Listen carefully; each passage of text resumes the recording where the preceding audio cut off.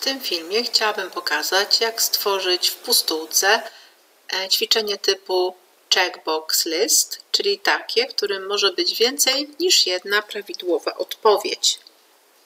W tym celu przechodzimy do pliku Word. E, tutaj przygotowałam już zdania.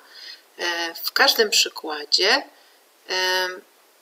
odpowiedzi znajdują się w nawiasie kwadratowym, są one rozdzielone średnikiem, natomiast odpowiedź prawidłowa zaznaczona jest gwiazdką.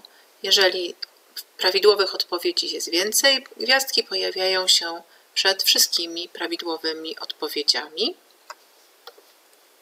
Aby stworzyć ćwiczenie, należy skopiować zdania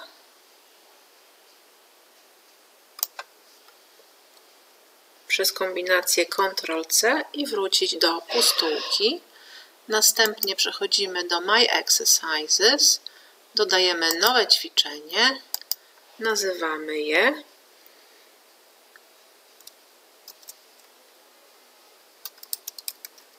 ćwiczenie pierwsze.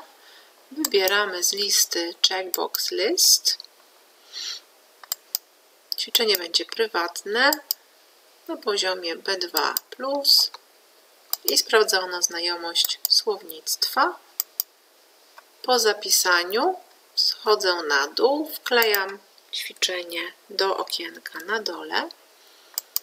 Oddzielam polecenie od reszty spacją i wybieram opcję Parse.